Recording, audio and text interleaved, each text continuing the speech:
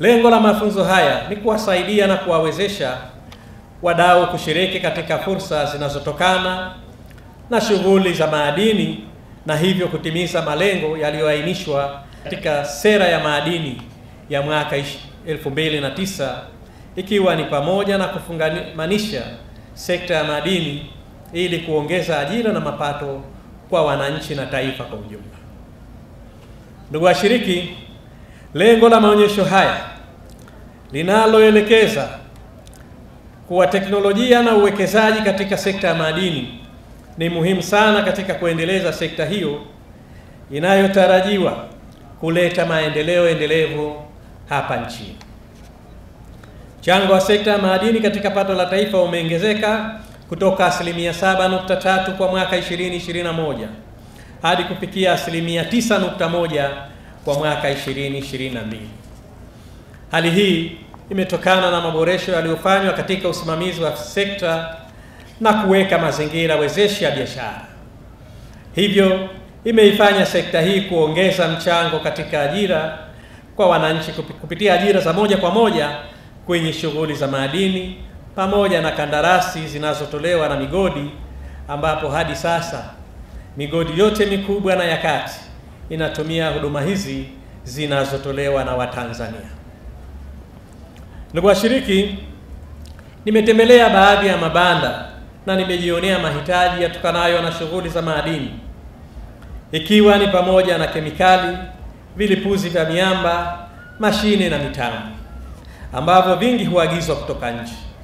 Nitoe wito kwa wadau wa maendeleo nchini wakiwemo wafanyabiashara, taasisi za elimu, taasisi za fedha na Wizara ya Viwanda na Biashara pamoja na Wizara ya maadini kushirikiana katika kuendelea kuweka mikakati ya kuwezesha uwekezaji wa ndani wa teknolojia zitakazowawezesha upatikanaji wa malighafi zinazohitajika katika shughuli za madini ili kuendelea kufungamanisha ipasavyo sekta hii na sekta nyingine za kiuchumi.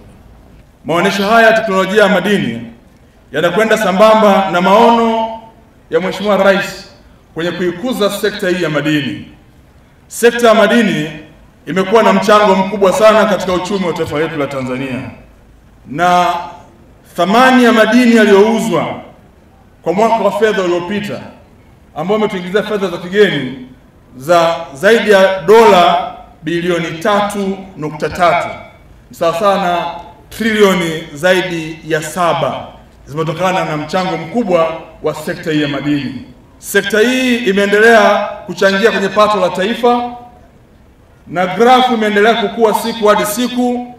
Mwaka 2021 sekta hii ilikuwa inachangia kwa asilimia saba nukta mbili.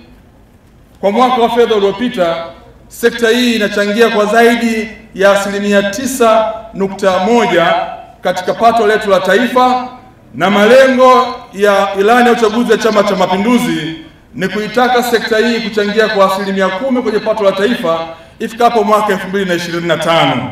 Serikali yake ya awamu sita inatupa ushirikiano mkubwa sana, hasa kupitia wizara yetu ya madini na taasisi zake.